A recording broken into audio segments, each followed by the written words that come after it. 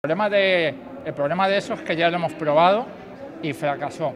Eh, cuando se produjo la, moción de censura en la que le dimos la presidencia a Pedro Sánchez a cambio de nada, le dijimos también que si no formaba un gobierno de coalición iba a ser un gobierno muy inestable.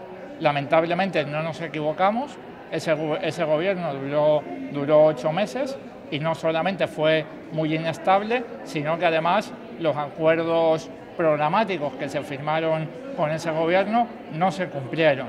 Solamente hay un esquema de gobernabilidad que cumple ser estable y garantizar el cumplimiento de los acuerdos y ese esquema es el gobierno de, coalición. Por eso nosotros llevamos defendiendo la misma posición de manera completamente coherente desde antes de las elecciones de, del 28 de abril y cabe destacar que el PSOE en la campaña decía lo mismo.